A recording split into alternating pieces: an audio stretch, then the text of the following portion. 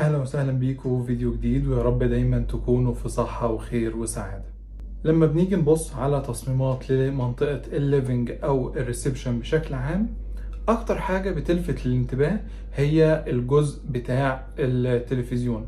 الحيطة بتاعة التلفزيون دي بيبقى فيها تشكيلات كتير جدا وبتتعمل ليها مكتبة أو أرفف كده حوالين التلفزيون بتبقى ليها أفكار كتيرة جدا وأشكال كتيرة جدا وتقدر تستغل المساحة دي بكذا طريقة بحيث تظهر شكل جمالي وفي نفس الوقت تكون عملية. في الفيديو ده إن شاء الله هنتفرج على أكتر من 100 تصميم.